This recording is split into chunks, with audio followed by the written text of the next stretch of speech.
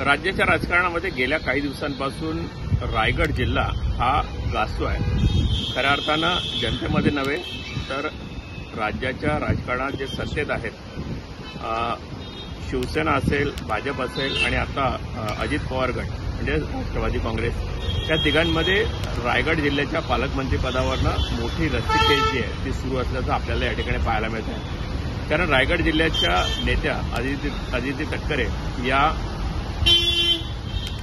मंत्री आहेत. कॅबिनेट दर्जाच्या मंत्री आहेत. त्यामुळे त्यांना रायगड जिल्ह्याचं पालकमंत्रीपद मिळावं ही भूमिका जी आहे ती राष्ट्रवादी काँग्रेसनं लावून धरली. आणि विशेषतः सुनील तटकरे हे राष्ट्रवादी काँग्रेसचे प्रदेशाध्यक्ष आहेत. त्यामुळे रायगड जिल्ह्यावर आपलं वर्चस्व असावं ही भूमिका जी आहे ती तटकरे यांच्याकडनं वारंवार या ठिकाणी मांडली जाते.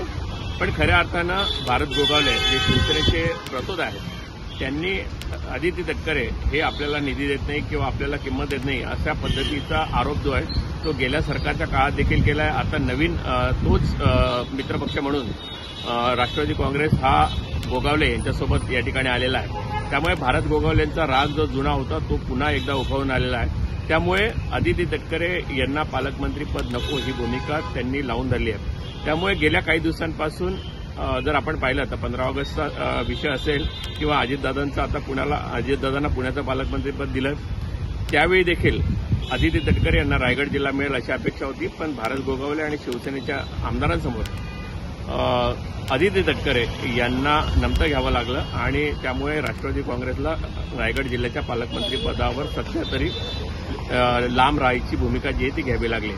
पण आपण जर पाहतोय तर गेल्या तीन दिवसापासून रायगड जिल्ह्याचं पालकमंत्रीपद मिळावं यासाठी सुनील तटकरे उद्योगमंत्री उदय सामंत त्याचबरोबर भारत गोगावले यांच्यामध्ये समन्वयाच्या बैठका ज्या आहेत त्या बैठका सुरू झालेल्या आहेत. काल देखील एक महत्वाची बैठक झाली होती. या बैठकीमध्ये भारत गोगावले यांचा जो विरोध आहे तो कमी व्हावा. त्यासाठी या ठिकाणी सुनील तटकरे यांनी भूमिका जी आहे ती मांडली होती. उदय सामंत हे या सगळ्या प्रकरणामध्ये मध्यस्थी करत असल्याचं पाहायला मिळतंय.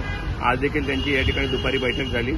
एकूण शिवसेना भाजप आणि राष्ट्रवादी काँग्रेस यांनी एकत्रितपणे रायगड जिल्ह्यामध्ये सत्ता जी आहे ती राबवावी आणि प्रत्येकाला सत्तेचा वाटा जो आहे तो समान पद्धतीने मिळावा ही भूमिका जी आहे ती या समन्वय समितीमध्ये घेतली गेलेली आहे. पण अजूनही भारत गोगावलेंनी या संदर्भात कुठलीही भूमिका जी आहे ती व्यक्त केलेली नाही आहे पण एकूणच सामोपचाराच्या माध्यमातून रायगड जिल्ह्याचं पालकमंत्री जे आहे ते तटकरे यांच्याकडे दिलं जावं ही भूमिका जी आहे ती आता या बैठकांमध्ये समोर येताना आपल्याला पाहायला मिळते.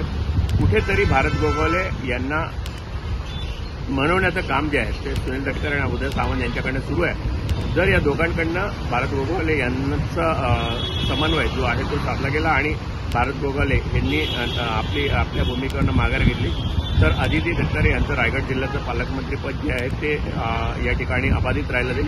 पण यामुळे ज्या अनेक भूमिका ज्या आहेत त्या बदलल्याचं आपल्याला पाहायला मिळेल. कारण की हे पालकमंत्रीपद मिळाल्यानंतर खरी लढाई जी आहे ती लोकसभेसाठी असेल. लोकसभेला राष्ट्रवादी काँग्रेसची जागा जी आहे ती राष्ट्रवादी काँग्रेसकडे सुटेल.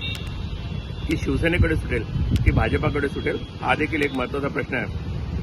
त्यामुळे पालकमंत्री पदाचा प्रश्न जर सुटला तर नक्कीच खासदारकीचा दावा जो आहे तो राष्ट्रवादी काँग्रेसचा अधिक मजबूत होईल हे या ठिकाणी स्पष्ट होत आहे पण कुठेतरी रायगड जिल्ह्याच्या पालकमंत्रीपदांना जो या तिघ पक्षांमध्ये वाद सुरू आहे त्याला कुठेतरी या दोन ते तीन दिवसामध्ये पूर्णविराम मिळेल अशी शक्यता दिसते आहे.